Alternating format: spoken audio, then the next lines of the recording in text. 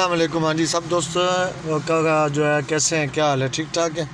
सब दोस्तों को ये कहना था कि हमारे मुल्क के जो हालात हैं, हमारे मुल्क के जो माश निज़ाम है, ये हमारे मुल्क के लोग बड़े अच्छे दिमाग के हैं और बड़ा इनका दिमाग है, बहुत फास्ट दिमाग है, ठीक है?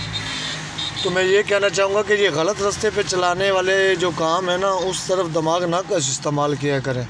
सही जो तरीका है, जो सही तरफ़ है, उसको उस तरफ़ दिमाग चलाएँ, ठीक है? गलत तरफ़ हमारी कौम का दिमाग बहुत ज़्यादा चलता है कि अल्लाह माफ़ करे कि ये क्या करना है, चोरी करनी है, या किसी को लूटना है, या किसी को कुछ करना है, ऐसे करना है, वैसे करना है, ये करेंगे, वो करेंगे।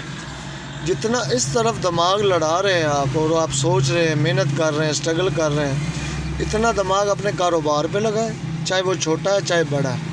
इतना दिमाग अपनी तालीम पे लगाएँ, चाहे आप अच्छा पढ़ जाएँगे, अपना माँ बाप का नाम रोशन करेंगे, ठीक है? तो इन चीज़ों को अच्छे रास्ते पे मैं लड़कों को कहूँगा, अपनी जो नई जनरेशन है, इनको मैसेज दूँगा कि गलत रास्ते का अंजाम बुरा ही है।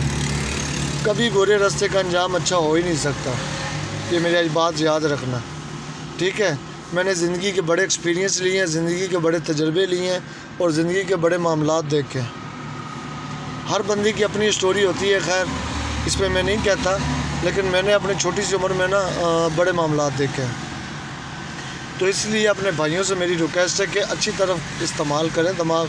और ये सोच मत रखें कि फ़लाना ये काम करूँगा तो लोग क्या कहेंगे, फ़लाना काम करूँगा तो लोग क्या कहेंगे, लोग कुछ नहीं कहेंगे। जब घर में रोटी नहीं होती तो कोई आके पूछता है कि रोटी खाइए या नहीं खाइए। कोई रिश्तेदार पूछता है कि रोटी खाइए या नहीं खाइए। कोई दोस्त पूछता है कि रोटी खाइए या नहीं खाइए। इसलिए आप भी ये ना सोचें कि मैं ये काम करूँगा तो लोग क्या कहेंगे। लोग तो किसी चीज़ पे खुश होते ही नहीं हैं। समझ आ